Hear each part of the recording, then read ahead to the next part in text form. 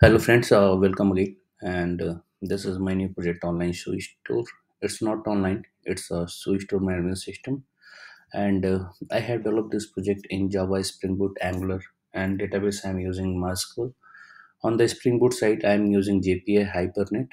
And uh, for connecting MySQL, uh, we we are using uh, JPA. Also, MySQL driver is there for connecting MySQL database. For IDE part, I'm using STS Spring Boot Tool Suits. Tomcat version 7 we are using. So this is for the backend side. For front-end development, we have used Angular version 7 and uh, HTML, CSS, and some of the Angular library for designing the UI.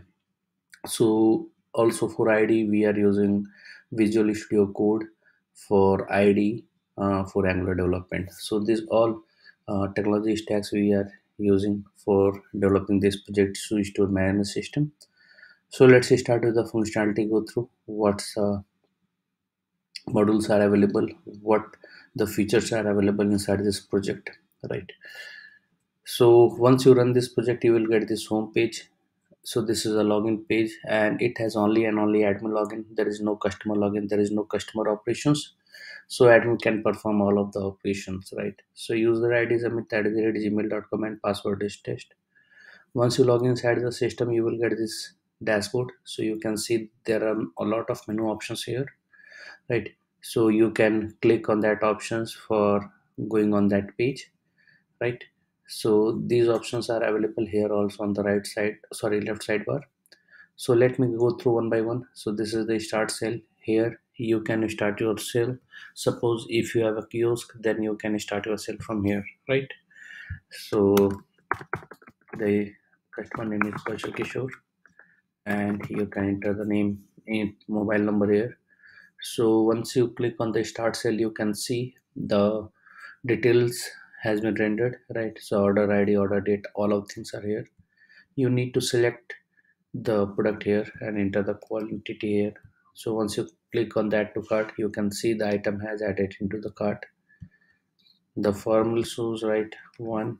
So the item has been added into cart boots one right? So you can see item has added it to the cart so total costs are uh, calculating automatically right? If you delete any item just hit the delete button. That item will be deleted from the cart right? So once you complete all of the details just click on the save sales details once you click on the save sales details your order number will be generated. It's a 106 and these are the your order id items right?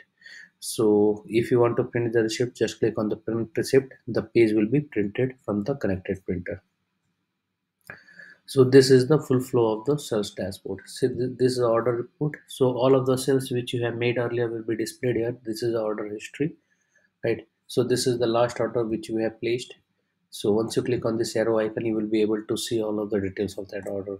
This is a product report and this is all of the products which is available into the system right? You can edit and delete the product so you can see this is the product details. This is add product section. From here you can add any number of products right? So this is the product report. So if you add a, if you add any items then that you will be able to see that item or products here this is a company report all of the company which is available right? You can add here.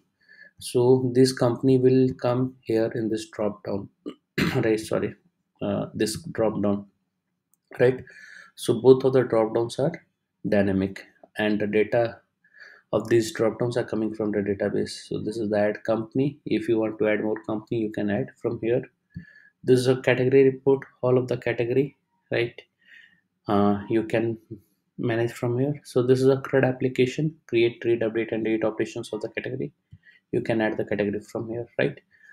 So this is a logout. Once you click on the logout then your all of the session will be destroyed and you will be redirected to the login page right? So you can see you have you have redirected to the login page. And once you click on the login again you will be able to see the dashboard right so these all functionalities i have developed inside this project. And the title is Shoe store management system. And it's a mini project which has only a and only admin feature. There is no customer login here right? And as i told you earlier this is a java spring boot angular project. And uh, jdk version i am using jdk 1.8 and angular version is 1.7 uh, angular version is 7 and mysql version is 5.6 right so if you need any enhancement in this project just put it into the comments. I will incorporate those changes. I will make this project more better and better according to your requirements. And don't forget to subscribe our channel for getting the latest project videos on the latest technologies. Thanks for watching the video. Thank you very much